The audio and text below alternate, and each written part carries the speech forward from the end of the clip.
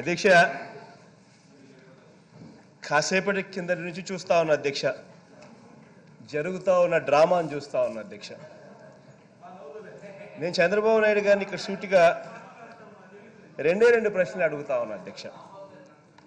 అధ్యక్ష ఇది పర్మిట్ చేస్తే గన మంచా చెడ్డ అన్నది ఆయన్నే చెప్పాలి చెప్పని అడుగుతా ఉన్నా అధ్యక్ష. ఒక క్వశ్చన్ అధ్యక్ష మొదటిది సీటింగ్ సీటింగ్ గురించి అధ్యక్ష. మీరు అసలు ఈ సీట్ల అడ్జస్ట్మెంట్ విషయంలో అసలు ఎవరు ఎవరు ఇన్వాల్వ్ కూడా కాల. టోటల్గా ఒక రూల్స్ పద్ధతి ఒక ప్రకారం ఒక పద్ధతి ప్రకారం మీరు సీట్లు కేటాయింపులు చేశారు.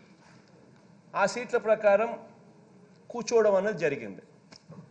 దాని తర్వాత శ్రీధర్ రెడ్డి శ్రీధర్ అక్కడికి పోయి గత రెండు రోజులు మూడు గత స్టార్ట్ అయినప్పటి నుంచి పాపం తను అక్కడే కూర్చుంటా ఉన్నాడు.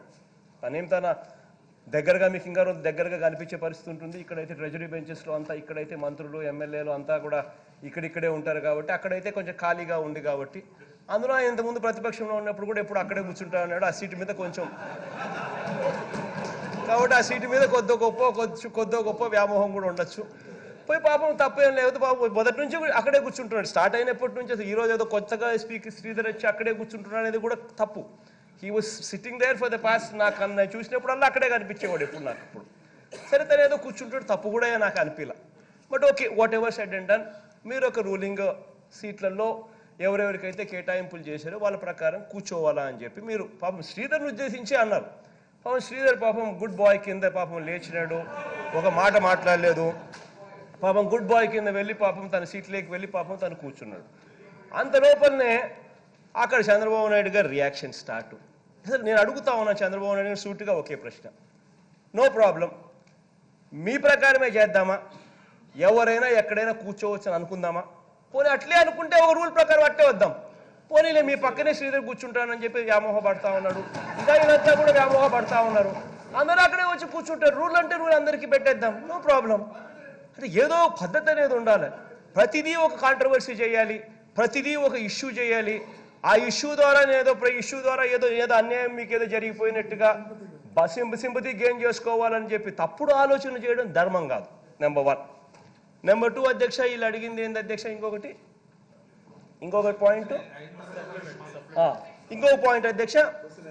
క్వశ్చనర్ అయిపోయింది అధ్యక్ష. క్వశ్చన్ దాటిపోయింది క్వశ్చన్ దాటిపోయిన తర్వాత రెండో క్వశ్చన్లోకి వెళ్ళిపోయినారు. రెండో క్వశ్చన్లోకి వెళ్ళిపోయిన తర్వాత మంత్రి గారు రెండో క్వశ్చన్ కూడా రిప్లై ఇవ్వడం మొదలుపెట్టారు. రిప్లై అయిపోయి చేశాడు రెండో క్వశ్చన్కి కూడా రిప్లై అయిపోయి చేసిన తర్వాత లేదు లేదు నాకు మొదటి క్వశ్చన్కే నాకు మళ్ళీ నేను వెనక్కిపోతాను నాకు మళ్ళీ అక్కడ నన్ను నన్ను నన్ను నన్ను మాట్లాడించేదానికి అవకాశం ఇవ్వండి అని చెప్పి మళ్ళీ మొదలు పెడతాడు. ఇదే ఇదే కార్యక్రమం గత ఐదు సంవత్సరాలుగా మేము ప్రతిపక్షంలో ఉన్నప్పుడు ఆయన ఇక్కడే ఉన్నప్పుడు కనీసం ఒక్క సందర్భంలో అన్న ఆ ఐదు సంవత్సరాలలో వాళ్ళు ఇచ్చారా లేదా అన్నది వాళ్ళ మనస్సాక్షిని అడగండి అధ్యక్ష వాళ్ళ మనస్సాక్షిని అడగమని నేను అడుగుతా ఉన్నా. గుండెల మీద చేతులు వేసుకొని ఒక్కసారి మిమ్మల్ని మేము ప్రశ్నించుకోమని చెప్పి అడుగుతా ఉన్నా అధ్యక్ష. ఇక మూడవది అధ్యక్ష ఇక మూడవది అధ్యక్ష ఇక వాళ్ళు అడిగింది ఇంకోటి ఏంటి? మూడవది?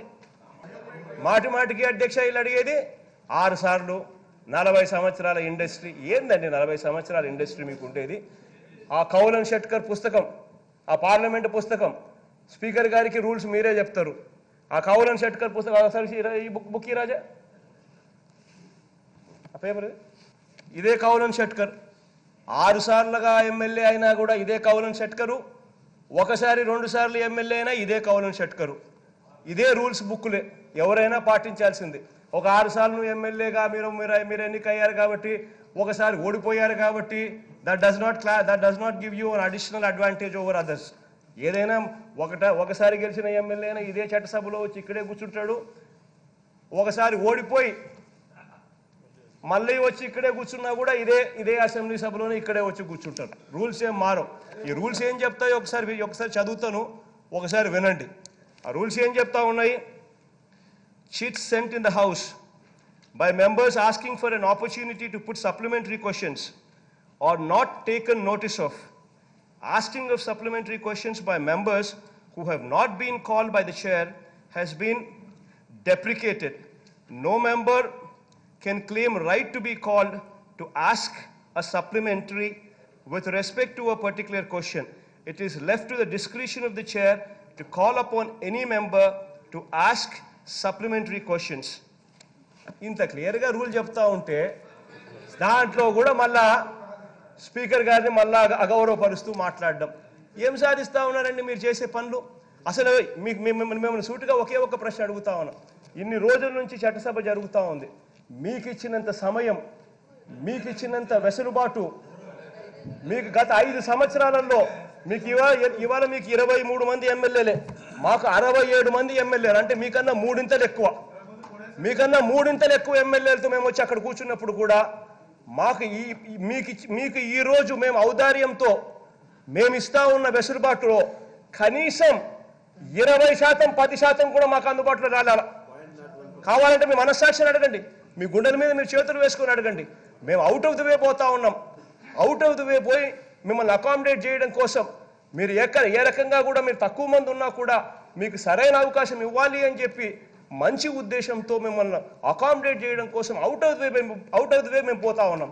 మేము అవుట్ ఆఫ్ ది వే మేము పోతా ఉంటే ప్రతి సందర్భంలోనూ దాన్ని వక్రీకరించడం దాంట్లో నుంచి తప్పుదావు తీసుకోవడం దాంట్లో నుంచి ఏది రచ్చ చేసి ఏదో సింపతి గెయిన్ చేసుకోవాలని చెప్పి తాపత్రయపడడం. సరే ఏ రకంగా మీరు మంచి చేస్తా ఉన్నారు అనేది ఒక్కసారి మీ మనస్సాక్షిని అడగమని చెప్పి నేను కోరుతా ఉన్నాను. ఇంత దారుణంగా మీరు వ్యవహరిస్తా ఉన్న తీరును మార్చుకోమని చెప్పి మరొకసారి చెప్తా ఉన్నాను. సెలవు తీసుకుంటాను అధ్యక్ష.